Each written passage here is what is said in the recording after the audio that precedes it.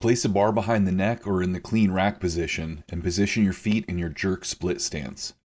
Bend both knees to move down until the back knee lightly contacts the floor.